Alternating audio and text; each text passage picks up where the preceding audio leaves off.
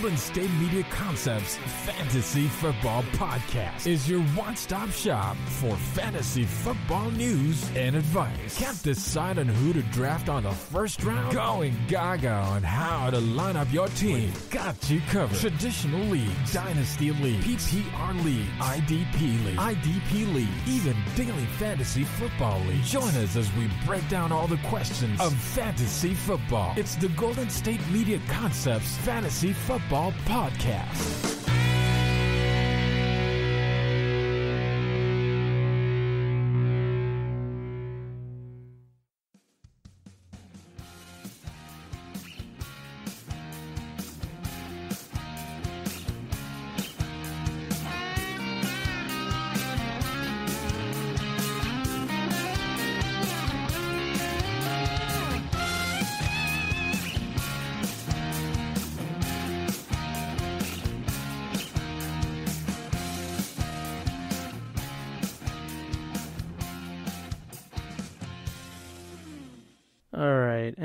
Welcome to another edition of the GSMC Fantasy Football Podcast brought to you by the GSMC Podcast Network. I'm your host, Kenneth Gruenfelder, and we got a jam packed show for you today. For today's show, we're going to do a rankings of the quarterbacks in the AFC first, like we did the NFC last time. We're going to do a draft analysis of the AFC East. So we'll do the draft analyses for that conference. We just wrapped up the NFC. Then we're going to go into the NFL Week 1 schedule. We're going to talk about the matchups for Week 1 and what expectations I have for that in terms of fantasy. And then I'm going to do my top 10 fantasy quarterbacks going into the 2021 NFL season. Now, I know I did another QB rankings, you know, way back when, but now I'm going to be doing the quarterbacks that I think are going to be the best going into the 2021 NFL season and the ones that I think are going to break out. All right, so let's get right into the first segment with the AFC quarterback rankings by each division. So we'll start with the AFC and we're going to go from last to first. So Zach Wilson, I have at number four, was the quarterback that the Jets took with the second overall pick in this past NFL draft. I think he's going to be the last rated quarterback in terms of fantasy. I just think that, you know, he's kind of a project. You know, the Jets are going to kind of have to, you know, deal with some growing pains with this quarterback. You know, he's got the arm talent. I think the Jets did a nice job by bringing in some weapons, you know, through free agency, through the draft, you know, drafting Elijah Moore, you know, the speedy wide receiver, and then getting Corey Davis uh, over from the Titans, who had a pretty good season last year with the guys that they already have there in Denzel Mims and Jamison Crowder. So we'll see how that offense works. But I, I just think in terms of fantasy, he's probably going to be the worst out of these quarterbacks. So I have him at number four. And at number three, I have Tua Tagovailoa. And, you know, a lot of people are very critical of him. This is the, a big year for him. They brought in Will Fuller from the Texans and they drafted Jaylen Waddle, the wide receiver out of Alabama, who had previous chemistry with Tua uh, during his tenure at Alabama. So you know, there's a lot of weapons for the Dolphins, and I and I've talked about it, you know, in the past couple of shows about how the Dolphins did a nice job, you know, adding more talent around Tua so he can succeed. But let's go through Tua's stats from last season. So he completed 64% of his passes, had 1,800 yards passing. 11 touchdowns to 5 interceptions, had 109 rushing yards, 3 touchdowns, 3 rushing touchdowns, averaged 13 and a half fantasy points per game, had 135 fantasy points overall in terms of standard leagues. And let's kind of go through each game. So, his first start against the Rams, he had 5 points. Then had a nice outing, 20 to 28, 248 passing yards, 2 touchdowns, 21 points in that contest against the Cardinals He was good in that game. Week 10 against the Chargers was 15 to 25, 169 passing yards, two touchdowns, had 14 points in that game, had 7 points the week after that against Denver. He was actually benched in that game for Ryan Fitzpatrick, who is no longer there. And that's, you know, a quick thing. You know, Ryan Fitzpatrick is not going to be breathing down his neck because, you know, there was a couple times in the course of the season, like the game against Denver and the game against Oakland, which I'll get. Oh, sorry, not Oakland the Vegas Raiders. That was another game that The Raiders they took out, or sorry, the Dolphins they took out Tua and they replaced him with Ryan Fitzpatrick. So, yeah, there was a couple times where the Dolphins, you know, took out Tua, put in Fitzpatrick because they believed that Fitzpatrick gave him a better spark and provided them with big plays. So, yeah, that was one instance against Denver. Then against the Bengals, had 16 points in that game, was 26 to 39, 296 passing yards, one touchdown. Um, yeah, so other than that, uh, also against the Chiefs, that was a you know that was a pretty good game for him.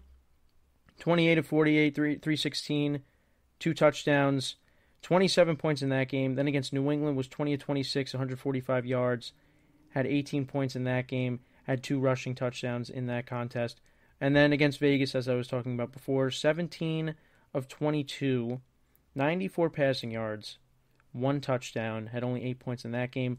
And then against Buffalo, this was a crazy, crazy game. So he went 35 of 58, 361 passing yards, one touchdown, three interceptions in that game, and had 15 points in that game.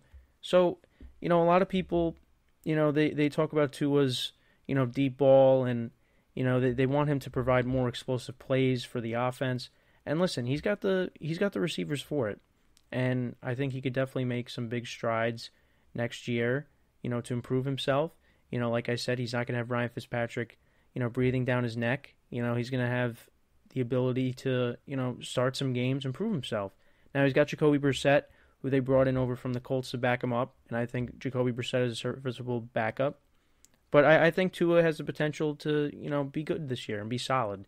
You know, I mean, he was coming off of that hip injury that he had, so you know, now he's a year removed from that. So let's see how he does. Um, I, I, think he could definitely be better. I, I think he's not quite there yet because I, I, think that, you know, the other quarterbacks that I have ahead of him, I, think provide, um, you know, I don't want to say more upside, but I think they're going to be a little bit better, even though one of them might be a little bit controversial um, on this in this division. So at number two, I have Cam Newton. Now, I have Cam Newton at number two because I, I think the Patriots adding in more weapons for Cam Newton, I, I think that's going to help him tremendously. Um, you look at Cam's numbers, you know, he was QB 15 last year, had eight passing touchdowns, which, yeah, that was really bad. That, w- that was not good for Cam Newton. Um, but like I said, the weapons that they added, I think the Patriots offense is going to be a lot better than what it was last year. You bring in Jonnu Smith, you bring in Hunter Henry, the two top free agent tight ends. You bring in Nelson Agholor, who had a breakout season with the Raiders in 2020. You bring in Kendrick Bourne, who's a serviceable wide receiver. And you have some continuity in the running game. You have Damien Harris back there, who I think is going to be a sleeper going into a lot of fantasy drafts. You have Sony Michel, and you have James White. You bring him back, and a lot of there were a lot of rumors out there that he might go to Tampa Bay to play with Brady again. You know, so they they got some weapons there. You know, it's not like last year when their best wide receiver was Jakobi Meyers. So you know, I, I think the offense is going to be better. And you know, let's kind of look at Cam Newton's stats. So, like I mentioned before, he was QB 15, had only eight passing touchdowns, which was not good. You know, um, he did have 258 fantasy points last year. He averaged 17.3 fantasy points per game. Now, the thing here is he had 12 rushing touchdowns, which was really good last year. Um, you look at some of the games, some of the good games that he had. He was good against Miami in Week One, had 25 points in that game, but you know that came mostly because of the running game. You know, 15 rushing attempts, 75 yards, averaged five yards per carry, two rushing touchdowns in that game, had 25 points in that game. Then in Week Two, he had 34 points against the Seattle Seahawks. He went 30 of 44, 397 yards, a touchdown, an interception and then on the ground, 11 rushing attempts, 47 yards, and two touchdowns, two rushing touchdowns in that game. So really, that kind of came, you know, more so on the ground um, as opposed to through the air. And also, you know, we kind of learned, you know, throughout the season that Seattle's defense really wasn't that good. Um, towards the end of the season, it did get a little bit better uh, when they acquired Carlos Dunlap from the Bengals to help out with pass rush. But yeah, Seattle's defense really wasn't that good last year. And then, you know, against the Raiders, only 17 of 28, 162 passing yards, one touchdown, one interception. Um, didn't have any rushing touchdowns in that game. Only had 11 points. Had 17 when he came back against the Broncos because you know he was he missed a couple of games due to COVID. Um, so he only went 17 to 25. Um, had two interceptions in that game. Had a rushing touchdown. Um, didn't do anything against the 49ers the week after that. Only went 9 of 15, 98 yards, three picks, and had negative 0.18 points in that game. Terrible. Terrible. You know, he did have a lot of, he, did have a couple of stinkers uh, throughout the season. You know, against the Jets, 27 to 35, 274 passing yards, um, 24 points in that game, had two rushing touchdowns. Uh, the week before that, against the Bills, he had a rushing touchdown. He had 18 points in that game. Had 16 in Week 10 against uh, Baltimore. Had 19 against Houston in Week 11. Had 23 against the Chargers in Week 13. He had two rushing touchdowns there. And then he had 37 points in Week 17 against the Jets. He had three passing touchdowns in that game. Um, I believe he actually he also caught a pass. Uh, he also caught a touchdown pass. I'm not 100% sure, but um, yeah, so he had a good game there, you know, in terms of fantasy. You know, I, I put him ahead of Tua because I think he's going to be a little bit better, you know, with the weapons around him. I mean, the Patriots' offense can't be as bad as it was last year, can it? I mean, I, I don't think so. Um, so you got that going for them. Um, you know, bringing in those weapons, I, I think that's going to help out Cam Newton, and I just think that they're going to continue to use Cam Newton on the ground. You know, because that was the strength last year you know, for them in the in the in the ground game. You know, so I, think with the combination of that, I think he's going to be a little bit better than Tua. Um, I could be completely wrong. I mean, I'm kind of going more off of experience.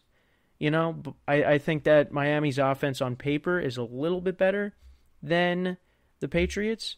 I, I think their wide receivers are better. I, I, think the Patriots running backs are a little bit better. No offense to Myles Gaskin, who had a really nice year. Um, I think the Patriots running backs are a little bit better. Um, but I, I think the Dolphins' um, weapons at wide receiver, I think, are a little bit better than um, the Patriots. But I, I think that Cam is going to be effective in the ground game because he's a big guy, and I think because of that, he's going to be a little bit better than Tua in fantasy. And I, the jury is still out on Tua, so we'll see how Tua does, and hopefully he answers the bell. So, yeah, so Zach Wilson, then Tua, then um, then Cam, and then number one is obviously Josh Allen. Um, I, I, think Josh Allen is, is going to be one of those guys that's going to be up there for MVP this year. I, I think that he's going to throw 40 touchdowns, 40 plus touchdowns um, this year. You know, he's made improvements every year since entering the league in 2018. And, you know, they, they added some weapons for him, you know, more weapons for him. Now Emmanuel Sanders comes into the fold to go with Stefon Diggs and Cole Beasley. Um, you know, I, I think that the only thing that's bad about the Bills is really their running game, you know, on the offensive side of the ball. So hopefully they can get that straightened out. Hopefully Singletary and, and Zach Moss, they can figure it out in the running game. But outside of that, Josh Allen, he's going to be a top fantasy quarterback this year, and he is the top fantasy quarterback in his division. So that's the AFC East. So let's move on. Let's go to the AFC West. So at number four, I have Drew Lock.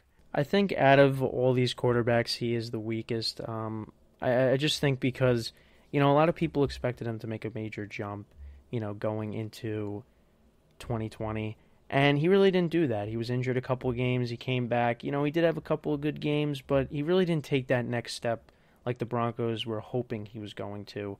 And who knows? They might be getting another quarterback on the way in Aaron Rodgers. We don't know, but um, that's all speculation for right now. But looking at Drew Lock's stats from 2020, he started in 13 games. He completed 57% of his passes, had barely under 3,000 yards, 16 touchdowns to 15 interceptions, had 181 fantasy points. He did have a couple of good games. Um, you know, he had 29 points in week 9 against the Falcons, and this is in terms of fantasy. A lot of that was garbage points.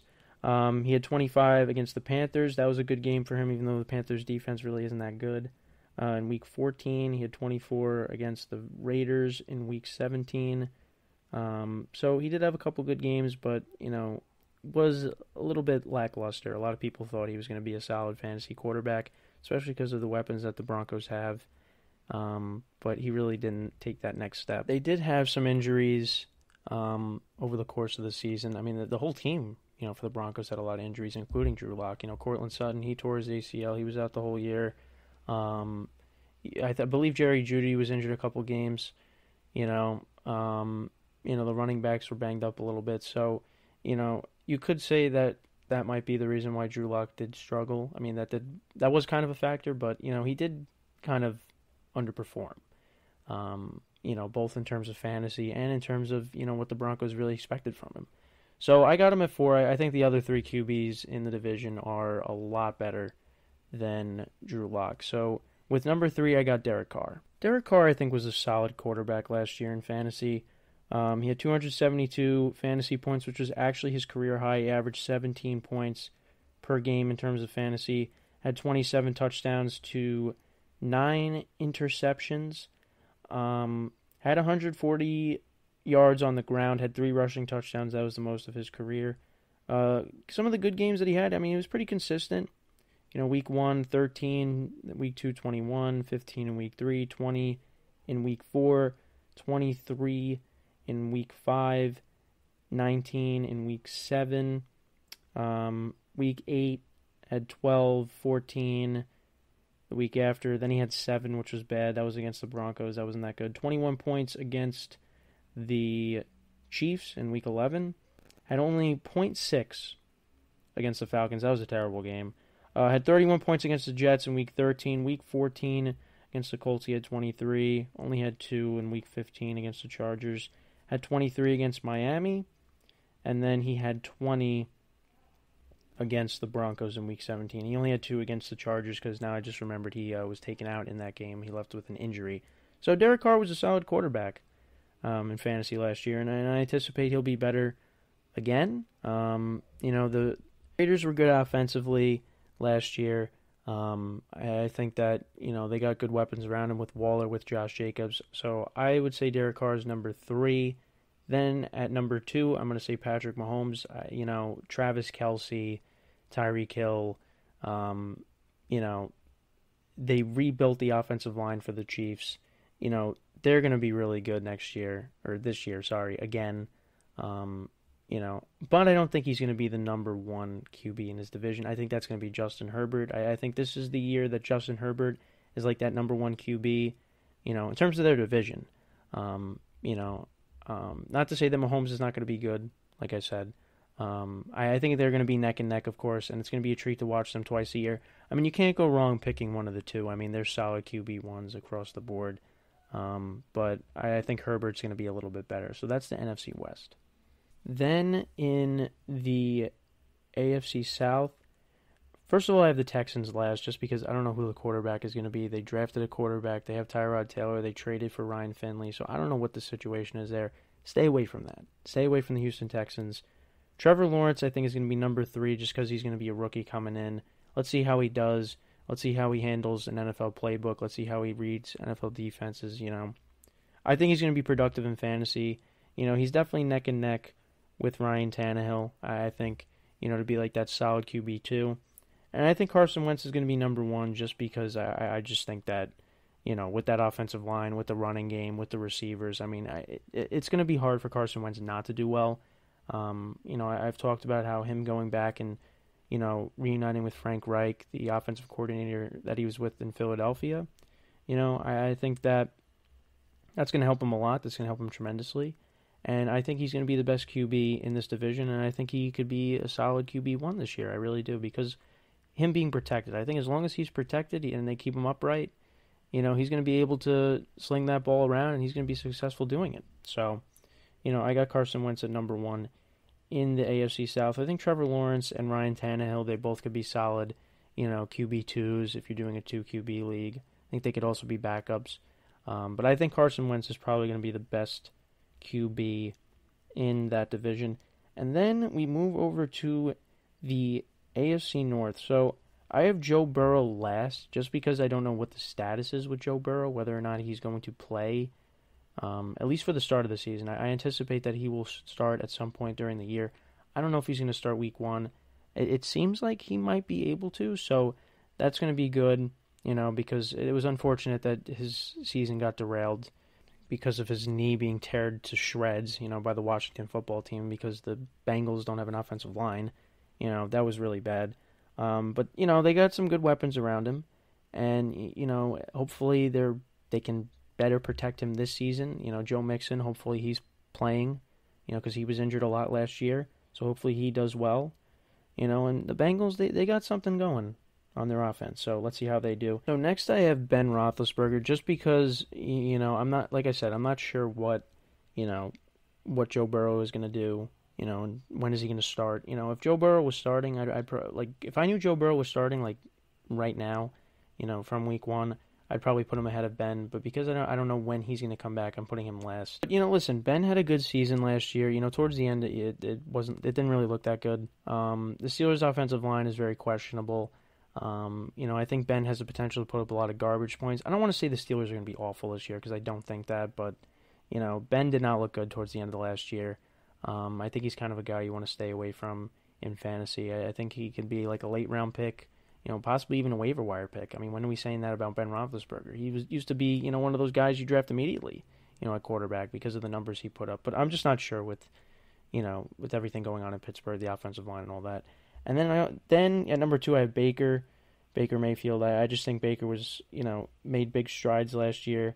You know the offensive line was top three according to Pro Football Focus. You know they they addressed the offensive line. You know they were top five in rushing. They were ranked the number one offensive line. You know so.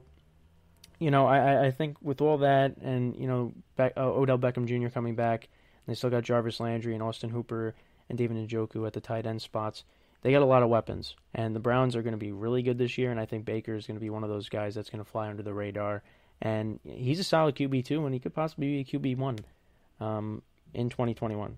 So yeah, Baker at two, and then I think Lamar Jackson is at number one just because of you know the dual threat that he is. You know he got he's got to develop more as a passer, but you know he's dangerous. You know when it comes to running the football. So you know I have him at number one. I think now with what the the Ravens did, bringing in Sammy Watkins to help out in the passing game, drafting Rashod Bateman. Hopefully that, you know, helps out Lamar in the passing game because the Ravens were last in passing yards. So um, hopefully they're able to correct that for their sake. So those are my quarterback rankings for the AFC. So with that, we're going to take a quick break. When we come back, we're going to do a draft analysis of the AFC East. So stick around. We'll be right back here on the GSMC Fantasy Football Podcast.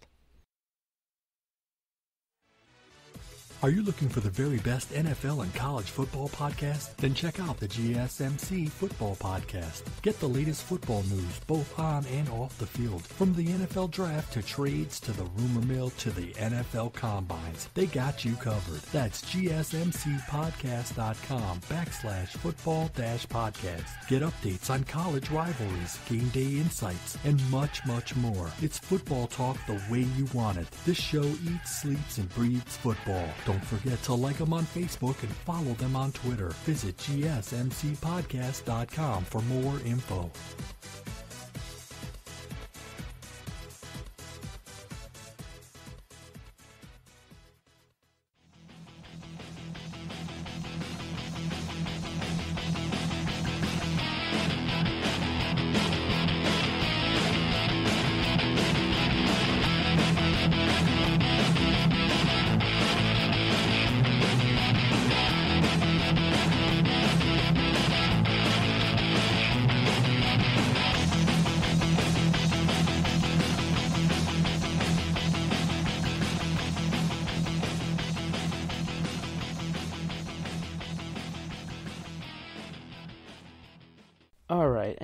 Back here on the GSMC Fantasy Football Podcast. So, for segment number two, we are going to do a draft analysis of the AFC East and what players I think you should draft that play in this division. So, let's get right into it. Let's go from last to first, like I've been doing. So, last place last year in that division was the New York Jets. So, I have Denzel Mims, Jamison Crowder, uh, Elijah Moore, Tevin Coleman, Corey Davis, and Zach Wilson as the players that you know you maybe want to consider for fantasy.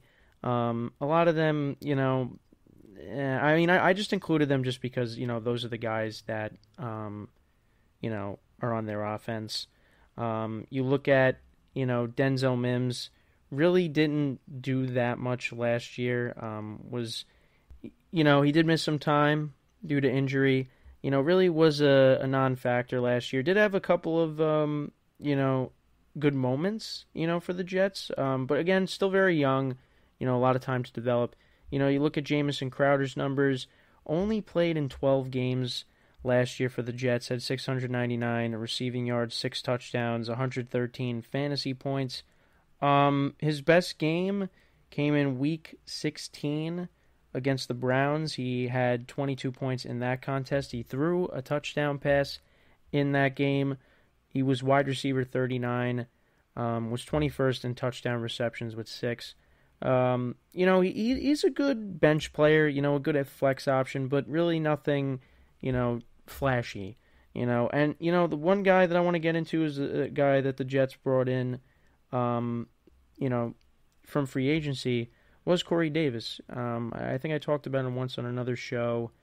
Um, I don't remember. I think it was uh, you know one of the segments I did uh, where I talked about you know players that I was interested in seeing how they were going to do on their new teams. And Corey Davis, he had a career high in fantasy points, had 126 fantasy points. Um, did have a couple of decent games. Had 18 points against the Bengals in Week Eight. Had eight receptions for 128 uh, receiving yards and a touchdown in that contest. Uh, you look at the game against the I almost said the Lions, but that, that was the game I was going to bring up after. You look at the game against the Browns, he had 11 receptions, 182 receiving yards, and one touchdown in that game. His longest reception was for 43 yards, averaged 15.2 yards per target. Um, yeah, he had 24 points in that contest. That was a shootout of a game. Well, really, it was you know one sided for a while. The Browns were up, I think, at most 38 to 7 and then you know the Titans made it interesting and I think the final score ended up being like I don't remember it was like 30 45 to 42 something like that it was a crazy game um, the Browns they they proved themselves in that game but with Corey Davis you, you know that game that he did well in against the Browns like I was just talking about then only had four receptions but he had 110 receiving yards a touchdown um, his longest reception was for 75 yards. I believe that was the touchdown reception that he had. Um, and he had 17 points in that game. So he had a couple of good games. You know, I, I think with the Jets, you know, he's going to be the number one guy. So let's see how he does with Zach Wilson. Um, you know, a lot of people raved about Zach Wilson's deep ball. You know, so Corey Davis is going to be one of those deep threats that he's going to be going to. You know, I think the Jets they got some nice pieces, but they, you know, they're they're still kind of ways away. Um, you know, in terms of you know where they want to be. Uh, so yeah, Corey Davis, another guy you know you could consider for fantasy. I, I, think really when it comes what it comes down to is Crowder and um, and Corey Davis. Those are probably the guys that you'd want to take. Elijah Moore, I think, is a guy that you know could be drafted mostly in dynasty leagues. I could see you know him maybe possibly getting drafted you know in late rounds in you know your typical fantasy drafts. You know, Mims, I think he's the guy that's going to be undrafted for the most part, but he can come on strong. You never know. Um, you know, Tevin Coleman looks like he's going to be the lead running back, so he deserves some consideration. But I think with his injury history, I think he's a guy you kind of want to stay away from, maybe be a waiver wire pickup. And then Zach Wilson, I think in terms of dynasty leagues, definitely a guy that is very, you know, you could consider drafting. But um, I, I think um, outside of that, you know, he's probably a guy that's going to go undrafted. You know, maybe be a waiver wire pickup. You know, if a two QB league, you know, maybe he could be your third QB. But other than that, that's kind of where I see, you know, um, the Jets situation uh, playing out in terms of fantasy. So let's move on to the Dolphins now. Um, so the players that I, you know, say you can consider drafting, uh, Tua, who I talked about before, uh, DeVante Parker, Jaylen Waddle, Will Fuller, Myles Gaskin, and Mike Gesicki. So, you know, looking at, you know, I, I, talked about Tua's stats already, but when you look at Myles Gaskin, he's a guy that I think could be a solid uh, running back number two um, for your fantasy team. He did only start in six games. He played in 10 last season. Um, had 584 rushing yards, uh, three touchdowns last season, three rushing touchdowns. Um, he had 123 fantasy points. Um, you know, from week five to week 17, I mean, he did only play in six games from five, week five to week 17. He didn't play in the games uh, week nine through um, 12. But, you know, from, you know, week six, or sorry, week five, um, against San Francisco, he had 15 points against the 49ers. He had 12 points against the Jets in week six. In week eight, he had 10 points against the Rams, 12 against the Bengals. He had 28 against the Vegas Raiders. Um, he went 14 attempts, 87 rushing yards, had two receiving touchdowns in that game. That was obviously his best game of the season. And then in week 17 against the Bills, he had a rushing touchdown. He had 13 points in that contest. I think he could be a solid RB2. I think he's most likely going to be the lead back in Miami. And I, I think he could be a solid RB2. I really do. So, you know, he's a guy you could probably get in the mid rounds. Um, you know, I think with this offense, this offense has a potential to be really good. I mean, I think it really all hinders on the quarterback, which I talked about um, talked about before. So, you know, we'll see how it goes. I, I think Myles Gaskin, you know, he could be, like I said, it could be a solid RB2. So you look at Mike Gesicki now. He was tight end seven last year. He had six receiving touchdowns, which was ninth in the NFL. He started in nine games, he played in 15, had his best season 703 receiving yards, six touchdowns, averaged 8.3 yards per target, um, 13.3 yards per reception. Um, did not fumble last year. Averaged 7.1 fantasy points per game. I mean, you know, I've talked about how tight end's a very thin spot when it comes to fantasy. Um, but he had 106 fantasy points. You know, some of his best games, he had 19 against the Bills in week two. He had 14 against the Bengals in week 13, 18 against the Chiefs in week 14. And that's really about it. I mean, other than that, you know, it really wasn't that um, really wasn't that impactful. Um, a lot of duds. Did have a game where he scored zero points. Um, so you know, I, I mean, he, he, could be a solid tight end, you know, for you. Let's see how he does with the full year of Tua. You know, I, I think he's a, a, boomer bust player. He's very hit or miss. Um, you know, I, I, you know, will admit, you know, he was a guy I drafted. I, I thought, you know, he was going to be productive, and really, uh, really was disappointing. I mean, tight ends are very disappointing. I mean, outside of a couple, you know, like Kittle, Kelce, and Waller you know, there's really there's really not a lot of productivity you get out of the tight end spot. You know, I mean, there's a few good ones here and there. You know, Mark Andrews and Robert Tonyan, but really, once you get out of like the top, you know, five, I mean, it's really just, you know, you you don't really know what you're going to get. And Mike Gesicki, let's see how he does this year. I, I think he is, you know, he still warrants um, some respect, and and I think that you know people should still draft him because you know his track record he is pretty good. You know, just he does have a few games where he just disappears. Um, but I, I think he is worth you know at least having on your team. I don't know. I don't necessarily believe he could be your starter. I mean, he's definitely you know worth consideration for a guy you want to have on your bench.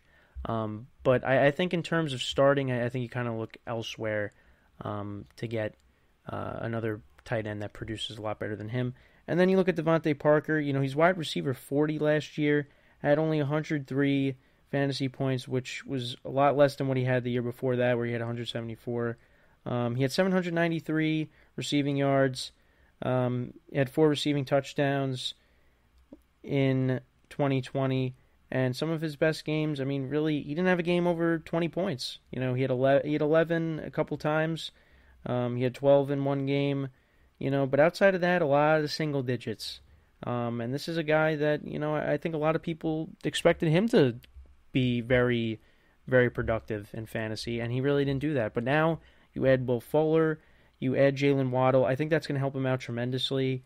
And, you know, I, I think that's going to do a lot for this Miami Dolphins offense.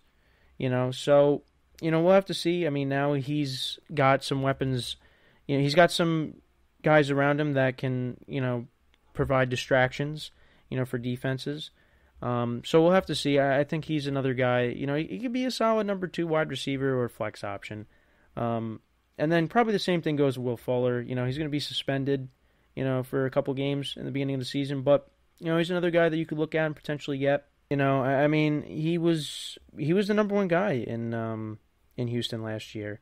You know, now that DeAndre Hopkins is no longer there, I mean, he did have good games. You know, he had 11 week one against um, the Chiefs, and that was kind of in garbage time where he got most of those uh, most of those yards. Uh, had 11 again in week three, 16 the week after that, 11, 18, then 9, then 16, then 3, then 8, and then he exploded in week 12 against the Lions. That was the, um, the Thanksgiving game.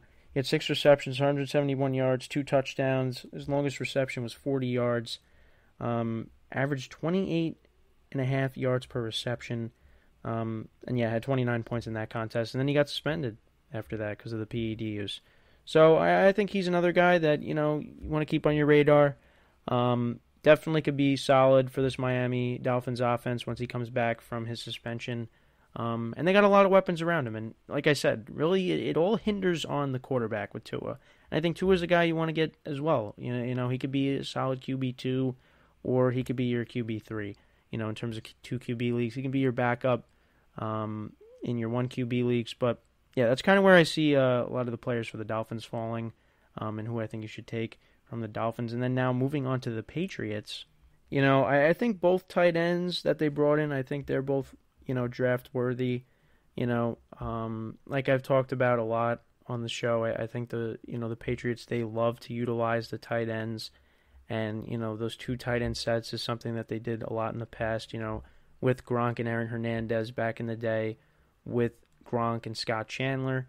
You know, last year they had you know virtually no tight end at all, and you know they really uh, they did a great job in correcting that issue and bringing in, you know, not one but two of the top tight ends in free agency. I mean, that's just, you know, let's see how they do with that. Um, I, I think those are two guys that you know you want to get, you know, both Hunter Henry and Jonnu Smith.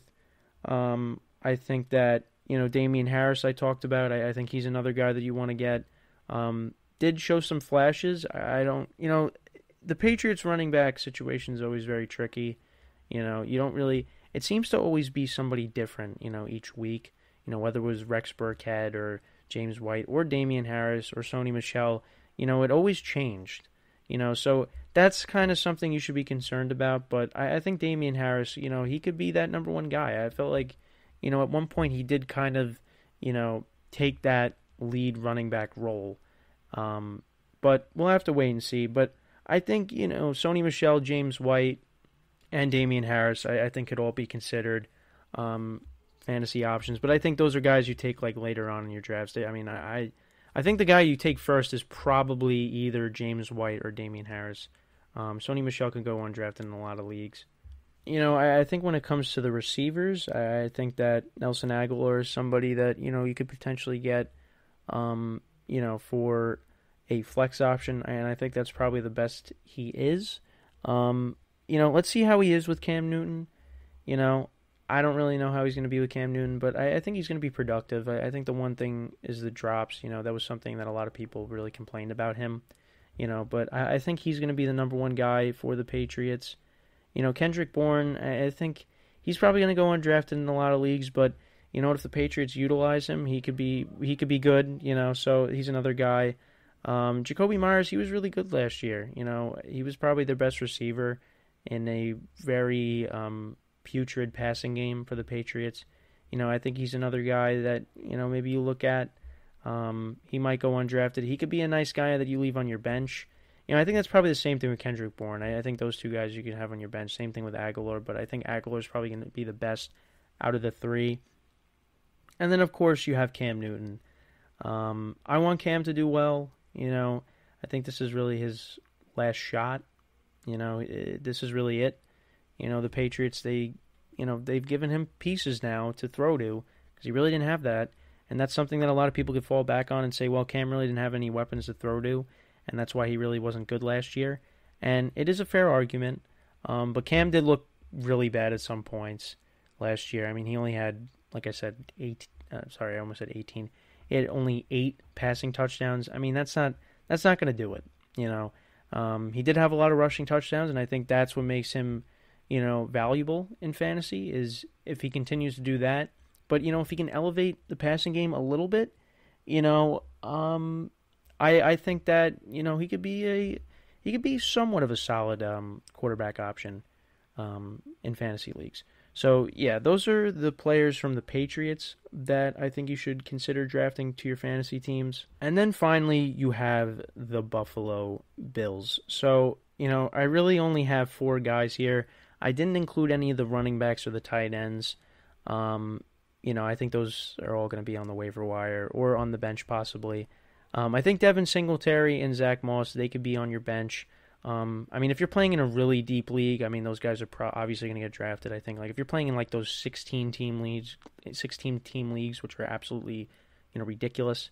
You know, they're probably going to get taken in those leagues. But, you know, other than that, um, I probably would not take them. Like in, you know, in like eight team leagues or 10 team leagues, I, I think though they could be bench players, but for the most part, I think you stay away from them.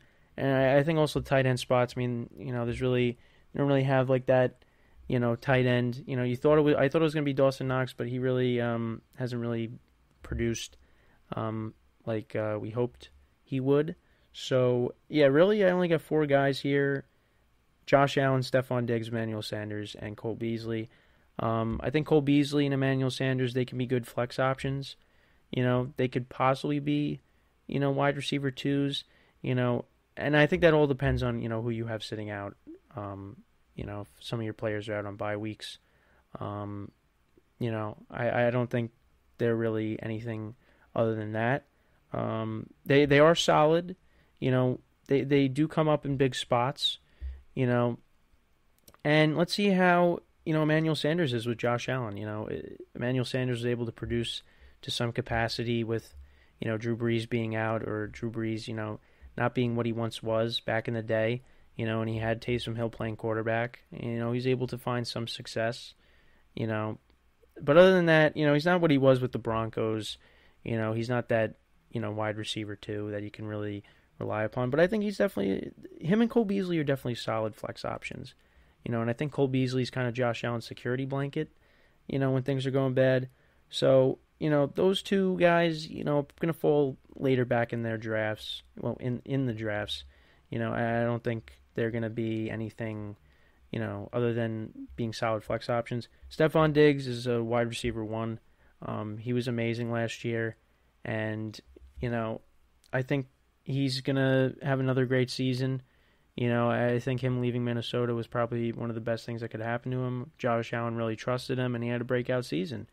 And he's probably going to do the same thing again this upcoming season. Is he going to be able to replicate his numbers? We'll have to see. Um, I mean, he was targeted a lot, you know.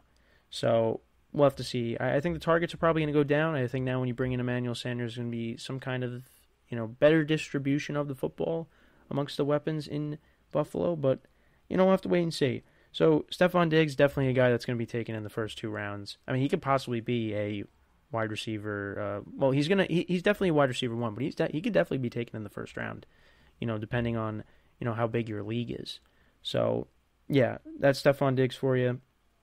And then finally, you have Josh Allen. Um, I, I, think Josh Allen is going to probably, you know, throw 40 plus touchdowns um, this upcoming season if everything goes well. You know, he's healthy and all that. Um, I, I, think that he's a guy that can be taken in the third or fourth round.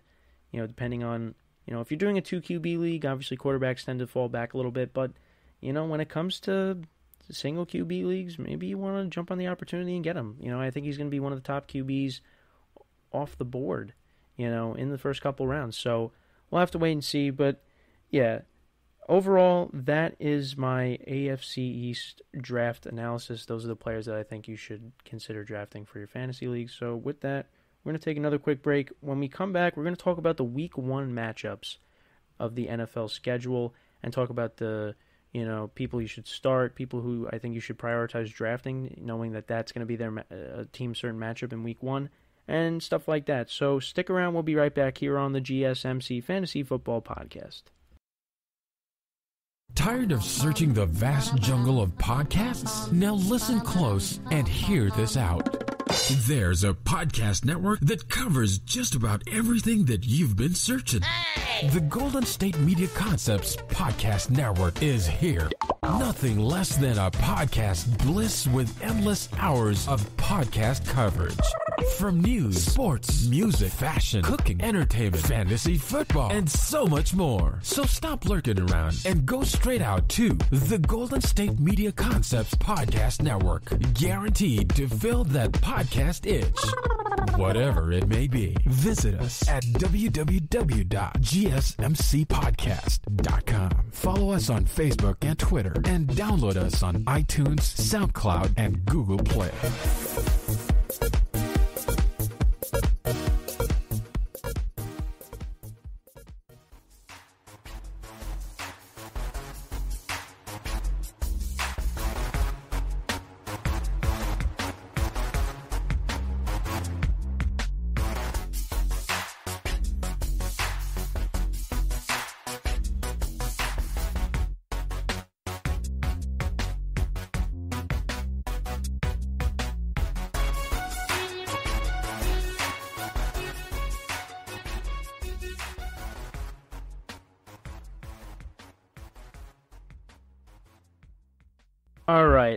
Back here on the GSMC Fantasy Football Podcast for segment number three. We're going to talk about the Week One matchups in the NFL and talk about the implications that it has on fantasy. So let's get right into it. So basically, we're just going to go through each matchup, and I'm just going to talk about you know some of the things that I'm going to be looking forward to see, and you know who you should start and sit that week, you know stuff like that. So let's get into the first matchup, which is the Dallas Cowboys visiting the Super Bowl champs, the Tampa Bay Buccaneers, to open up the season on September 9th on a Thursday of this year. So, looking into this matchup, you have Dak Prescott coming back, going up against this defense, which was phenomenal in the playoffs. I think it's a bad matchup for Dak. Um, I think he's going to be under a lot of pressure, you know, out of the gate, you know, with this Bucks defense which was tremendous in the playoffs. Um, I, I think him and Ezekiel Elliott, this is a bad matchup for them, you know, because Tampa Bay could stop the run. You know, I think with the secondary, you know, I, I think it's going to be better. Um, you know, it was a lot better, you know, towards the end of last year and then going into the playoffs. You know, I, I think Amari Cooper and CeeDee Lamb are worth starting. But I think in terms of Dak Prescott and Ezekiel Elliott, I think they're kind of guys you want to maybe stay away from and not start them. Well, I shouldn't really say you're not going to start them. You shouldn't start them. I think it's just they're just bad matchups. You know, I think of course you're going to start Zeke. You know, if you're taking Zeke in the first round, you know, of course you're going to start him. Um, it's going to be a tough matchup though. You know, for both Dak and for Zeke. I think especially more so for Dak because he's coming off of that really tough injury. So we'll have to wait and see. Um, but I think on the Buccaneers side, I think you really could start whoever you want. Mike Evans, Chris Godwin, of course, Tom Brady. Um, going up against that Cowboys defense. The Cowboys did go all in on defense in the draft, and I think their defense could be, you know, a little bit better than what it was. I mean, it can't be any worse. I mean, come on. You know, they had they drafted arguably the best defensive player in the draft in Micah Parsons. Um, so, you know, that's definitely going to help them out. And, you know, with the guys that they have there, you know, already, like Demarcus Lawrence and Jaylon Smith. And, you know, they rumors are they might be moving off of Leighton Vander Esch, so we'll have to wait and see. But, you know, they got some guys on this defense that need to, you know, step up and produce like they're supposed to. You know, but, you know, I, I think, you know, in terms of the Bucks, they got better matchups, you know, across the board as opposed to the Cowboys do.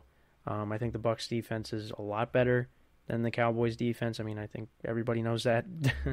so, you know, I, I think you know you start Brady, you know Godwin, Mike Evans, they're going to have good matchups. Um, you know, I think the running backs, you, you know, it's going to be a little bit of a toss up because you know Ronald Jones and Leonard Fournette, I think, are going to split carries again. Um, you know, Ronald Jones, like I talked about, was better in the regular season. Fournette was a lot better in the postseason um, because you know Ronald Jones was uh, banged up a little bit towards the end of the season. But um, you know, overall, I think with the Bucks, you know, those are probably the guys that you know you want to start. Uh, the Cowboys, I think you start Amari Cooper.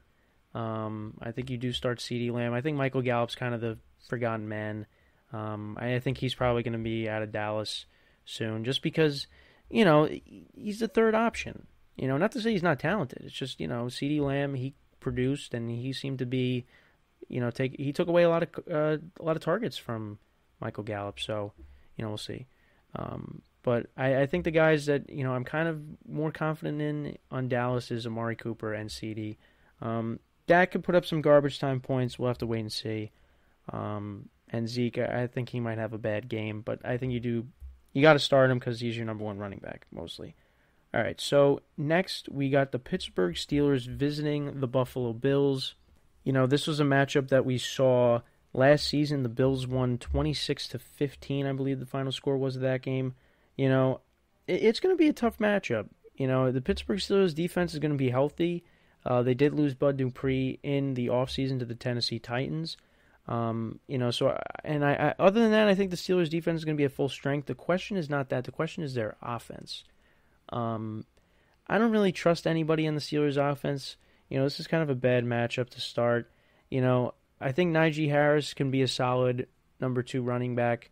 You know, on any team. You know, when it comes to fantasy, but I got to see how the Steelers' offensive line performs. If the Steelers' offensive line protects Ben and they can run block then you know what the Steelers offense is going to be able to move the ball, and I'd feel more confident, you know, starting some of these Steeler players, you know, like Juju, like Claypool, like Diontae Johnson, you know, and like Ben and Najee Harris. I think Najee Harris is probably the best player out of everybody um, on this team, just because Ben's the guy that's throwing the ball. And you know, the Steelers they tried to change up the offense last year, you know, having Ben get rid of the ball quickly, and you know, it, it worked a little bit, but you know, this is an offense where Ben's got to throw the ball down the field. I mean, you can't be doing all this dink and dunk stuff, you know? So, you know, I think we got to see how the Steelers offense does. Um, I'm hoping that they're good, um, but, you know, it's going to be tough. Now, you look on the Bills side, I wouldn't start any of the running backs, you know, just because the running game really was terrible, non existent for the Bills. I mean, Josh Allen was the best running back for the Bills last year, you know, and they're going up against the Steelers defense, which was amazing against the run. You know, but you know, I think you start Josh Allen. I, I think you, of course, start Josh Allen. Of course, you start Diggs. Um, you know, other than that, I, I think that's probably it. Um, but you know, I, I think they're probably it's probably going to be the same result uh, like last year. I, I, think the Bills they come out on top. They win this game. You know, I think in terms of fantasy, I think Josh Allen and Stefon Diggs they have good games. I think those guys, you know, of course you're going to start them. You know, with the Steelers, you know, I think you kind of avoid starting some of those players. Then you got uh, an interesting game here. Well, I, almost went to the four o'clock games. So you're still in the one o'clock games. You got the Eagles and the Falcons. So, you know, Jalen Hurts, DeVonta Smith. I think you those guys you could potentially start. You know, depending on what your league is. If it's a two QB league and Jalen Hurts is your number two, I think he's a solid option. You know, going up against his defense. I think you do start Dallas Goedert. Um, I, I, think as of right now, that's he's probably going to be the number one tight end. You know, they still got Zach Ertz there. Now, do you draft Zach Ertz? I, I think uh, you probably still do, but very late in the draft. Um, those guys can have good matchups going up against the Falcons' defense, though it could be improved this year. We'll have to wait and see. But um, you know, I, I, think the Eagles they have a good matchup. You know, against the Falcons. So you know, Goedert, um, DeVonta Smith, and Hurts, I think those guys you could start them. Miles Sanders is another guy um, that could have a good game against the Falcons defense. Then you got the Falcons going up against the Eagles defense. I mean, of course, Matt Ryan, Julio Jones, Ridley, and Kyle Pitts. I think those guys, you know, are all must starts against this Eagles defense, which really was not that good last year, and and you know did take some steps back, and is not the championship defense that it was, you know, back in the day when they won the Super Bowl. You know, so I think those guys are all must starts. I think this is a great matchup for Atlanta's offense in week one, and I think they're going to score some points. So, you know, that's that game.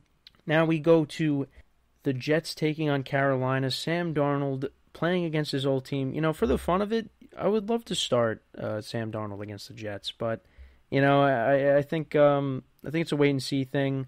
You know, with that. Um, we don't really know how Sam Darnold's going to be with the Carolina Panthers. I think you do start DJ Moore, Robbie Anderson, and of course Christian McCaffrey. You know him coming back. I mean, Christian McCaffrey's a much must start every week.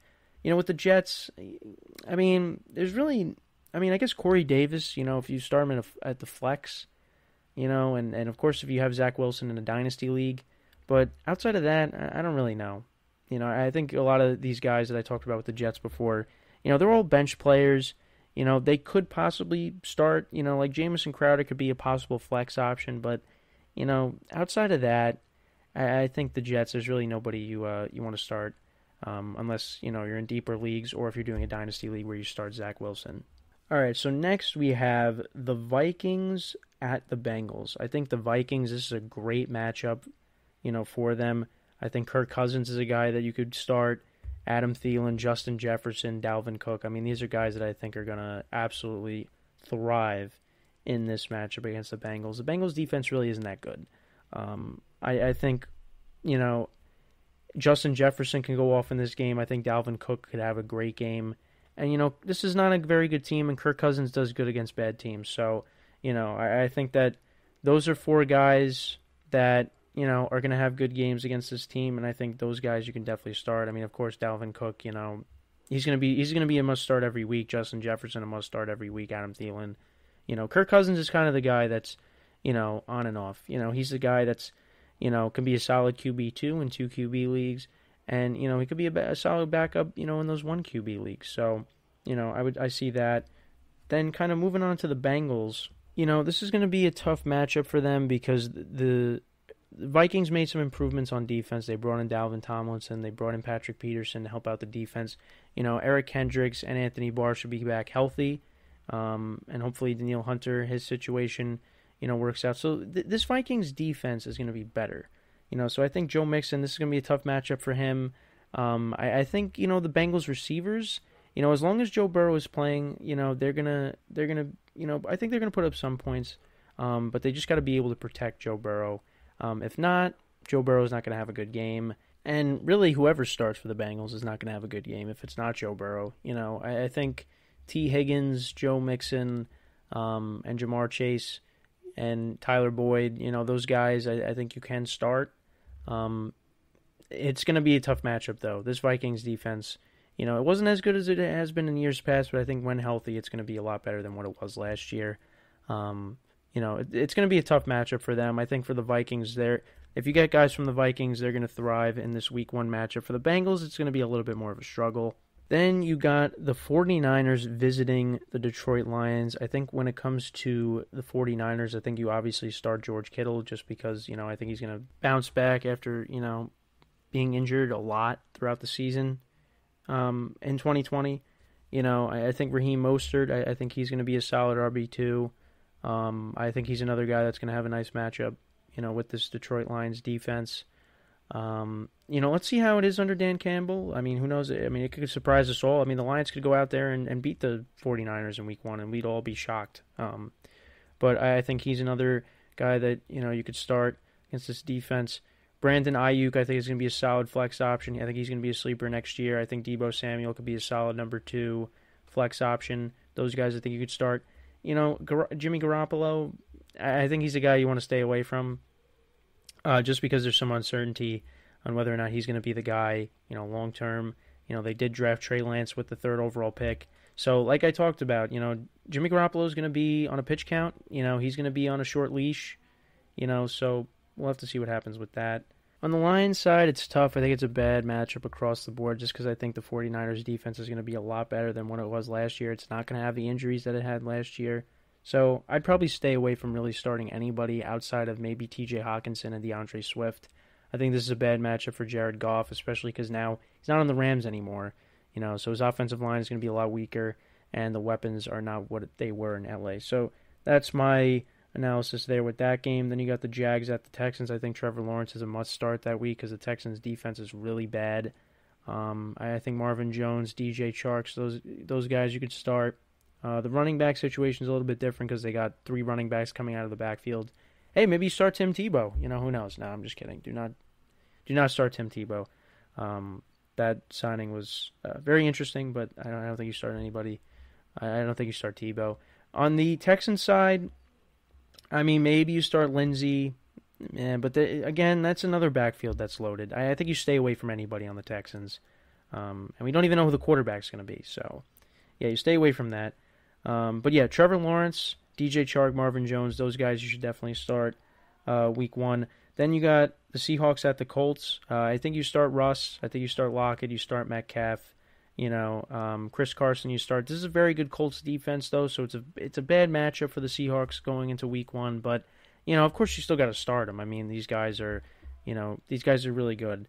Um, you know, I think Tyler Lockett, he's the boomer bust guy. He's a guy you got to worry about. Chris Carson a little bit, you know, because you got DeForest Buckner stuff in the run, so that's going to be a tough matchup.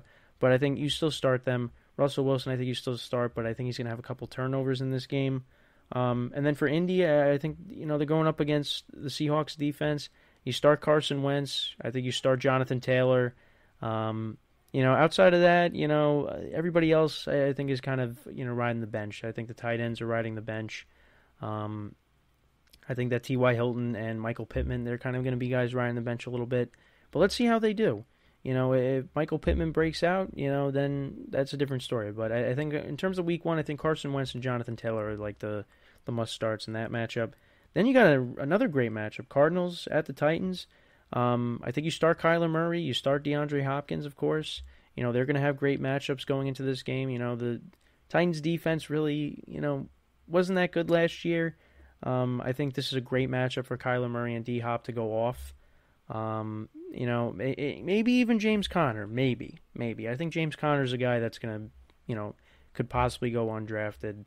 Um, to be taken in late rounds in a lot of drafts. So, yeah, Kyler and D Hop, I think are to bowl out in this game, and I think Derrick Henry and AJ Brown. I think those guys you obviously start. Uh, this is a good matchup for them. Uh, Ryan Tannehill, I think you start. I think this game is going to be very high scoring. Uh, both defenses really weren't that good last year, but they can be improved. You know, the Cardinals they added uh, they added J.J. Watt, um, you know, and the Titans they added Bud Dupree. So they added pass rushers. So let's see if that helps them out. Um, but that's you know th- those are the match. Those are the players that I think are going to do good in those games. You got the Chargers at the Washington Football Team. That's another interesting game. Um, it's a tough matchup, you know, out of the gate for the Chargers. But I think you, of course, start Justin Herbert. You start Keenan Allen, uh, Austin Ekeler. I think those are the guys you got to start. On the Washington football team side, you know, I, think Curtis Samuel and Terry McLaurin, they'll get their points. I think Fitzpatrick, he'll be okay. Um, but, you know, this is another game that's got good pass rushers. You got Joey Bosa on one side, and then you got, I almost said Chris Young. You got Chase Young on the other side. You know, the, both of their front fours are pretty good, you know, so we'll have to see what happens with that. And then we move on to the 425 games. You got the Browns at the Chiefs. Of course, Mahomes, Kelce, Tyreek Hill, those are all must starts. Possibly Clyde Edwards Helaire. And then on the other side, I think Baker Mayfield and this offense is going to do really good. I think this is a good matchup for the Chargers. Uh, sorry, not the Chargers. For the Browns. I think Baker, he can have a good game. And of course, I think you start Nick Chubb and Kareem Hunt. Um, you know, they both, you know, get their points. Um, for the most part, you know, the Browns are able to make it work, and these guys are able to get their points when they need to. So, you know, you got them do you start Odell Beckham Jr.? I, I, think you do. I think at the flex or at wide receiver too. Um, I think he can have a good game. Um, hopefully he comes back healthy. I think Jarvis Landry, you know, of course he's going to ride the bench, you know, on a lot of teams. And then Austin Hooper is another guy, you know, that can have a good game um, at tight end. You know, so those are the players there that I, I, I think in this matchup that I think um, you know you could start. Um, then you got the Dolphins and the Patriots. You, you, know this is a tough game, you know from both sides. I don't really like the matchup for either quarterbacks in this game. Um, you know that Patriots secondary, the Dolphins defense going up against the Patriots offense. It's, it's kind of tough. Um, I don't really know who you start. You know in both of these games. I think DeVante Parker possibly. I mean I think one of the wide receivers from the Dolphins. I think you could start the tight ends for the Patriots. I think you could start. You know, I think you could start Gaskin. I think you could start, you know, one of the Patriots running backs like Damien Harris or James White. Um, you know, I think this is a tough week one matchup for both quarterbacks. You know, so I, am not anticipating a lot of points are going to be. I think this might be a defensive battle, possibly. Um, so we'll have to wait and see with that. So then you got the other 425 games. You got the Broncos and the Giants.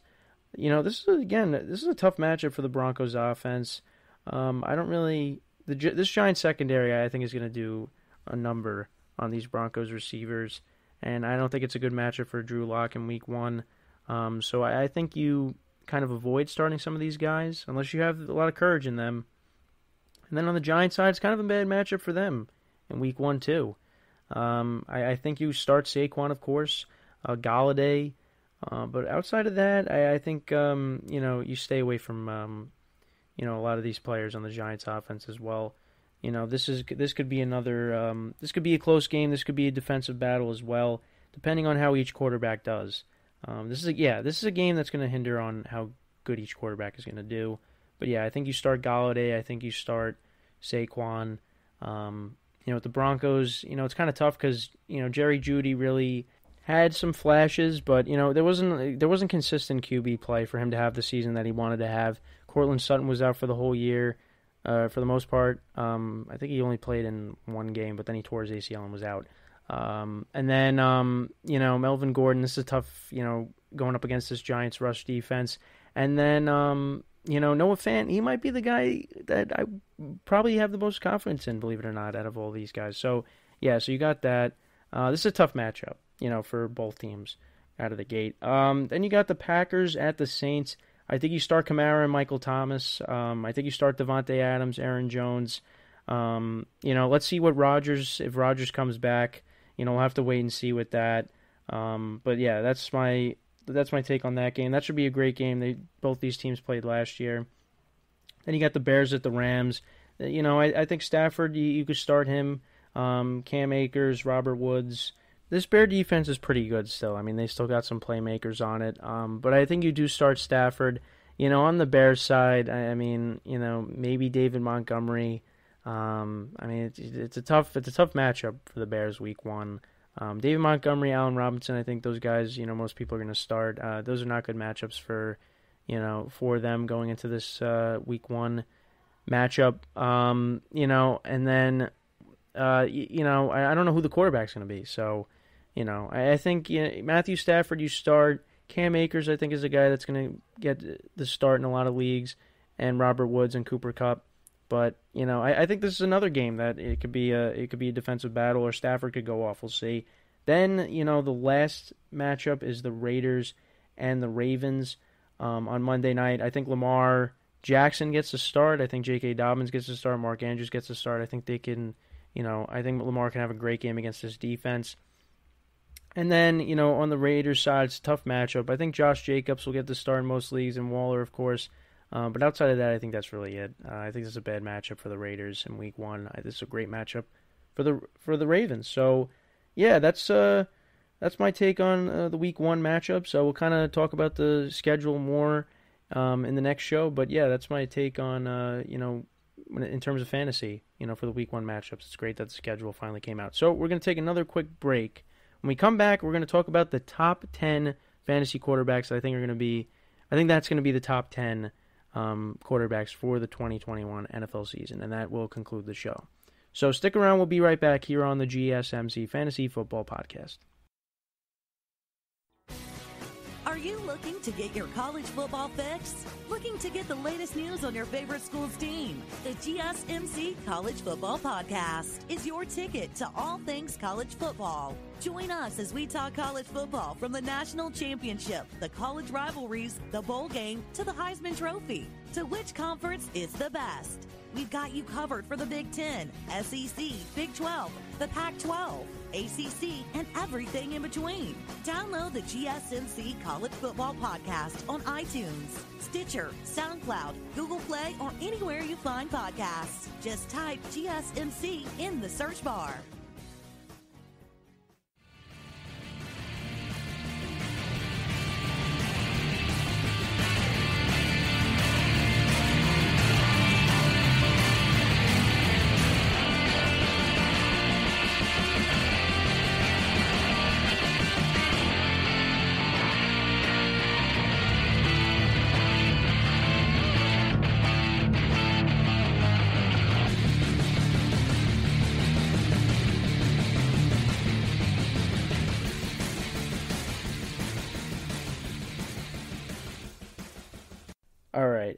Back here on the GSMC Fantasy Football Podcast for the last segment of the show. We're going to talk about the 10 the top 10 fantasy QBs that I think are going to be the top 10 for 2021. So I did a, a top 10 list, you know, way back. I don't remember what show it was, but these are the quarterbacks that I think are going to be, you know, the best for fantasy in 2021. So let's get right into it. So at number 10, we have the quarterback of the Tampa Bay Buccaneers, Tom Brady. Now, Brady was solid last year, had 40 touchdowns last year, but I think now in year two of this system, and with everybody coming back like Antonio Brown, like Mike Evans, Chris Godwin, Rob Gronkowski is back. You know, you have the running backs in Ronald Jones and Leonard Fournette. I think Brady's going to have another productive season. Um, I think he could be a QB one. The one thing I worry about is the stinkers that Brady does have. You know, if Brady is not protected, he could be really bad, and we saw that in both Saints games. Um, you know, we saw that in the Bears game. You know, Brady Brady has to be protected, and if he's not, he's not going to have a good game. You know, that's the one thing I worry about. But you know what? I, I think th- that the Bucs they have so many weapons. You know, now that they have that continuity, you know, now, you know, and now they're going to have the off season. You know that, you know, like teams are supposed to have in a normal year. You know, OTAs. You know, training camp, preseason. So I think that's all going to help Brady, and I think Brady's draft stock is going to be a little bit up this year. Um, and it's crazy to think of that, you know, with him being at his advanced age, you know, him being 43, you know. So I, I think Brady's going to have another great year, and I think he's going to be another top, you know, quarterback in fantasy. Um, I, I think, you know, in terms of QB, two QB leagues, I think he's a solid number two. I mean, I have, I have a lot more confidence in him being a QB two, you know, in my two QB league than him being my first QB, you know because of the advanced age and you know the times where he could be really bad. So yeah, I have Brady at ten. Then at number eight, I have Matthew Stafford. You know, I, I think you know I've talked about it a lot. This is the best supporting cast that Matthew Stafford has had since he you know entered the league. You know, back in I believe it was 2009. So you, you know, you got Robert Woods, you got Cooper Kupp. Now I, I have talked about you know it's not like you know when he had Megatron. I've said that a lot. You know, but you know, he's got good weapons around him. He's got a great offensive line. You know, I, I think Stafford has the potential to, you know, have a really great season, and especially because now you have Sean McVay, which might be the best coach that Stafford's ever played under. You know, let's see what the Rams can do. I, I think Stafford, he is going to have a great season. The one concern is the injuries. You know, he's been banged up a lot the past couple of seasons, and that is something that you know a lot of people should take into an account.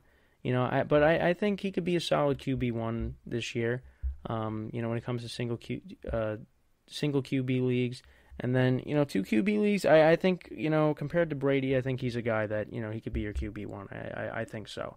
You know, as long as he's healthy, you know, that's the one concern I have with him. But I think with this offense, you know, the sky's the limit for what this team can do. And they did also bring in DeSean Jackson, and um, you know they have some other guys there as well. Um, you know, they do have Tyler Higbee at the tight end spot. So, you know, this Rams offense is going to be really good, and I think, you know, Matthew Stafford is going to be a top fantasy QB because of the weapons and the, um, you know, the head coach that he now uh, has been paired up with in Sean McVay. So, along with Matthew Stafford at number eight, we got Russell Wilson. Russell Wilson was off to a fantastic start. It looked like he was going to run away with the MVP, and you know he was great. And you know, overall, he had a great season. But it's just you know, towards the end, you know, it it really wasn't working out. Running backs were injured a lot. Um, you know, he was getting hit a lot. He was getting sacked.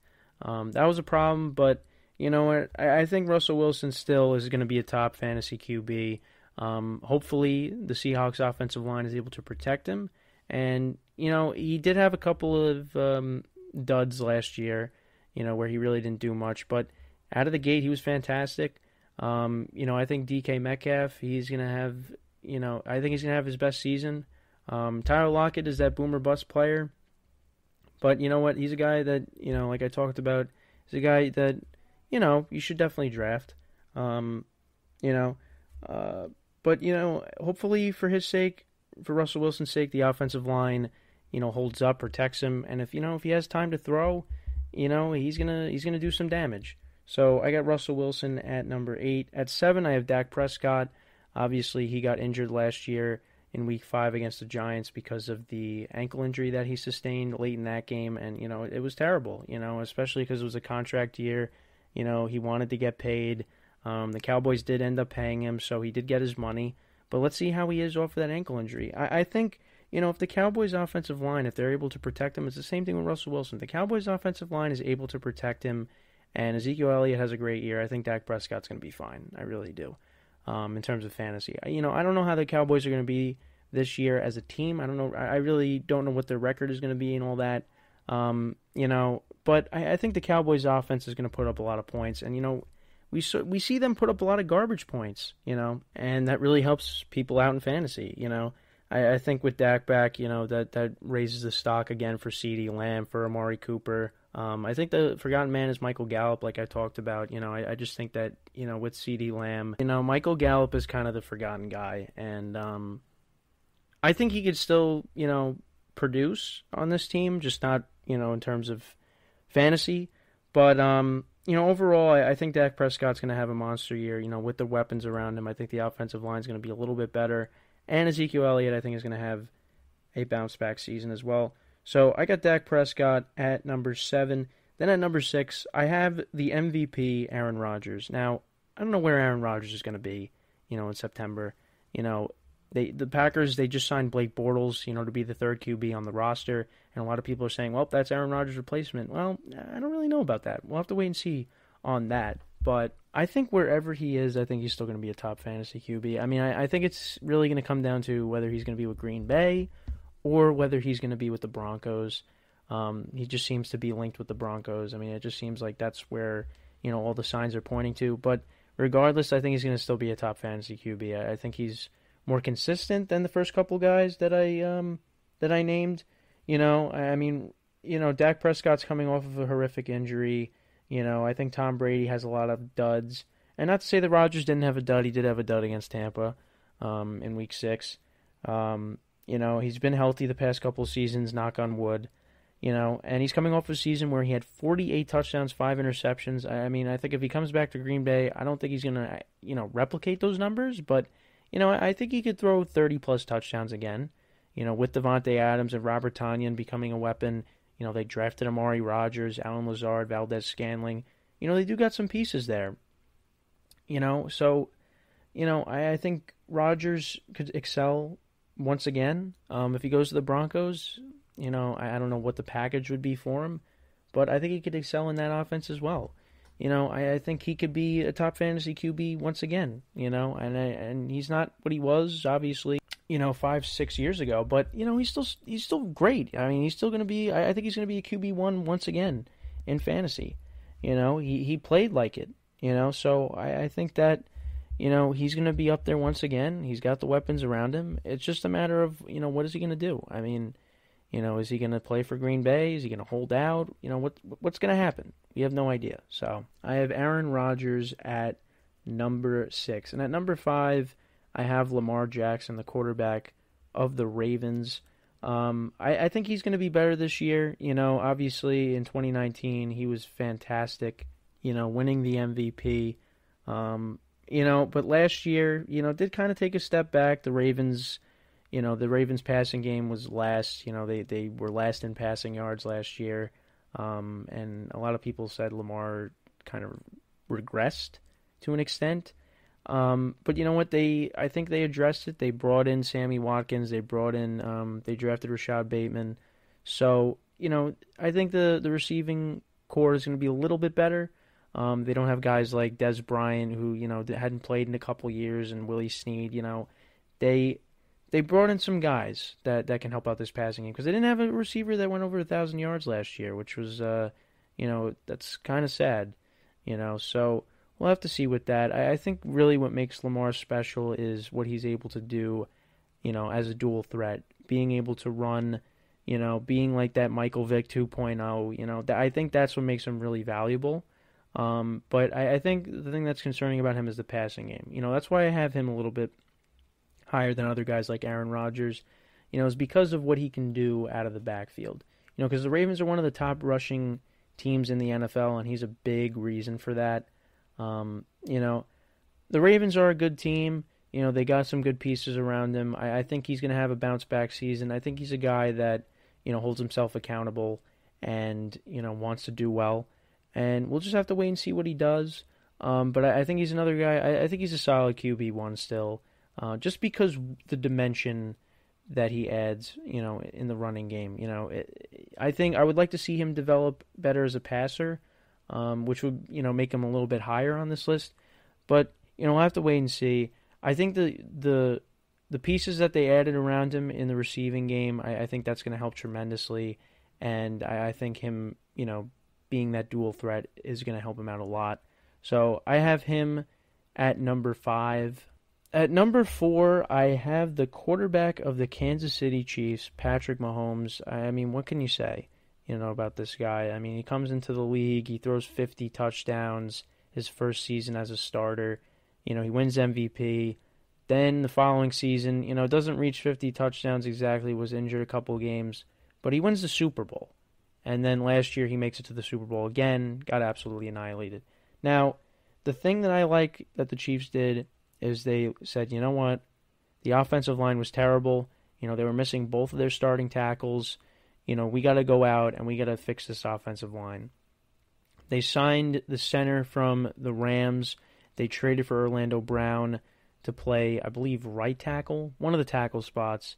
Um, then they drafted another center in the draft. They signed Joe Thuney, the guard from the Patriots. So they addressed the offensive line, you know. So I think that's going to be the key for the Chiefs next year, or this year, sorry, is the offensive line. The offensive line is protecting Mahomes. He's going to put up insane numbers. And on top of that, you still got Tyreek Hill there. You still got Travis Kelce. Um, I'd like to see a little bit more from the running game, you know, with Clyde Edwards Helaire. You know, hopefully he can make a big jump in year two. He was pretty good last year, um, but I'd like to see a little bit more. Um, but yeah, I think Mahomes is again going to have another great season as long as he's healthy. I think he's he's protected you know, he's going to be great. You know, and and I think he's going to have a chip on his shoulder because of what happened in the Super Bowl. So I think he's going to have another insane season, and he's going to be one of the first QBs taken off the board. Board. He's definitely in the top five. However, I don't. I, I he slipped a little bit for me. I think there are three QBs ahead of him. Believe it or not, that I think are going to have better seasons than him in terms of fantasy. I, I you know, let's see where everybody is at the end. I, I think he could ultimately be the guy holding up the Lombardi Trophy, but you know, let's see. You know, but I, I think that in terms of fantasy, he's not going to be the best QB. At number three, I got Justin Herbert. Now, again, like the Chiefs, the Chargers prioritized fixing this offensive line and building this offensive line to protect Justin Herbert. They signed Corey Linsley. They drafted Rashawn Slater. They brought in Matt Feiler, the guard from the Steelers. You know, and they, you know, they brought in um, Brian Bulaga last year so the offensive line is going to be really good for the Chargers, and I think that you know because of that, Herbert's going to have an even better season.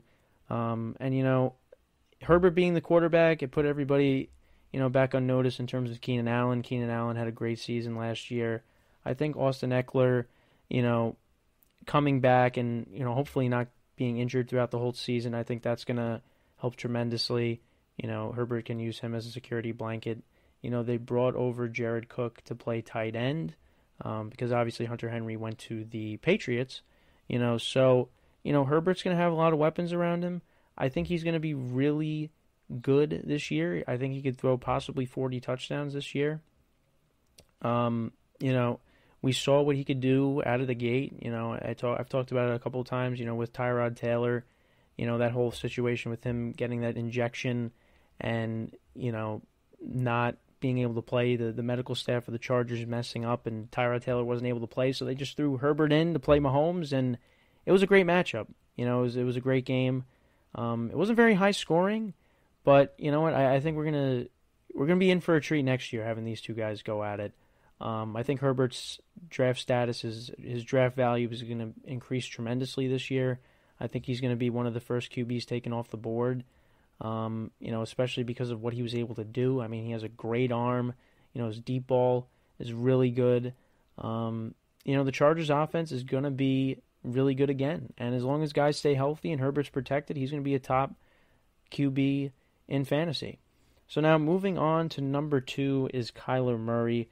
Um, his rookie season, he was pretty good 20 touchdowns, 12 interceptions, and then he increased it by six having 26 touchdowns to 12 interceptions in 2020, was really good on the ground.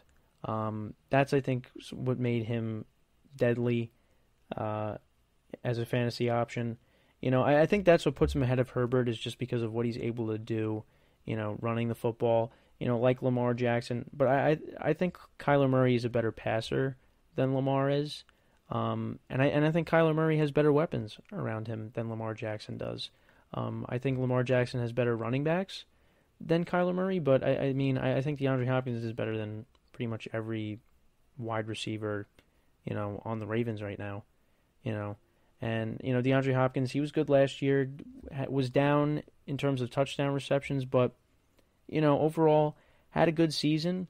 Um, you know they brought in AJ Green, you know, and it seems like Larry Fitzgerald is on his way out, which is really disappointing. Um, but you know, I think Kyler Murray is going to be great. I, hopefully, you know the Cardinals they protect him better because he did get banged up a lot um, towards the end of the season, and uh, you know he was you know, in and out of the game in Week 17 against the Rams when the Cardinals really needed him. You know, because the Cardinals were trying to make the playoffs and they didn't make it because you know they um, bad QB play led to them not making the playoffs. And you know, again, in large part because Kyler Murray was injured. Um, I think the Cardinals overall as a team are going to be better, and I think Kyler Murray is going to throw 30 plus touchdowns, 35 plus this year.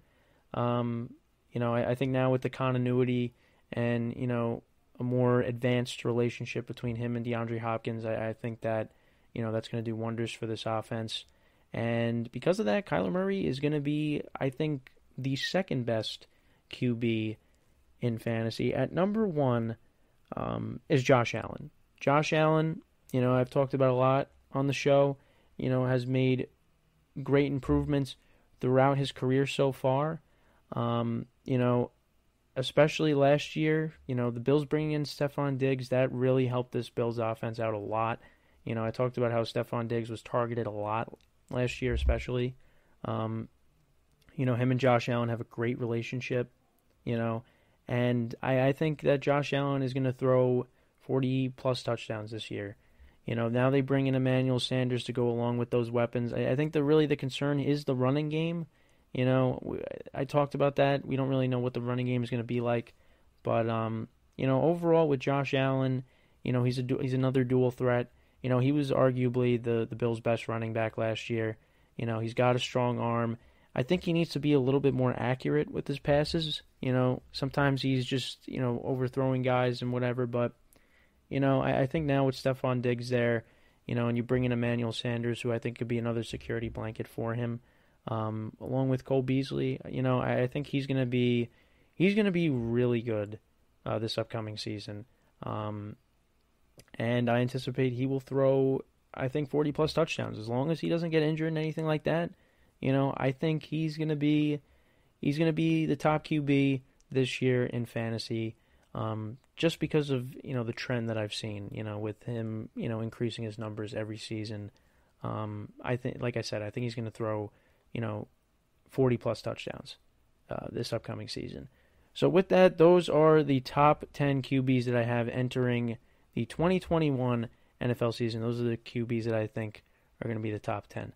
So, that is all the time that we have for today. Um, so happy that the NFL schedule has come out, you know, and to see all the matchups coming up. We're going to get into more stuff, you know, in the next show about the schedule and you know other stuff that I uh, have planned to talk about on the show. So yeah, that's all the time we got. A great show as always. Like I said, um, next couple shows will be focusing on you know the NFL schedule. We'll do some other rankings lists, you know, like the top running backs, you know, top receivers. We'll get into all that. Um, you know, I mean, it's only May. We get, we're ways away. These are like my very early predictions. Um, you know, in the coming months, you know, we'll start doing mock draft stuff like that. So yeah, that's what I got planned for the upcoming shows. So with that, make sure to subscribe to our social media platforms and write a nice review on our website. We greatly appreciate it. And yeah, that is all the time we got. So I'm Kenneth Grunfelder signing off for the GSMC Fantasy Football Podcast, brought to you by the GSMC Podcast Network. Have a good day, and we will see you next time. You've been listening to the Golden State Media Concepts Fantasy Football Podcast part of the Golden State Media Concepts Podcast Network. You can find this show and others like it at www.gsmcpodcast.com. Download our podcast on iTunes, Stitcher, SoundCloud, and Google Play. Just type in GSMC to find all the shows from the Golden State Media Concepts Podcast Network. From to music, from sports to entertainment, and even weird news. You can also follow us on Twitter and on Facebook. Thank you, and we hope you have enjoyed today's program.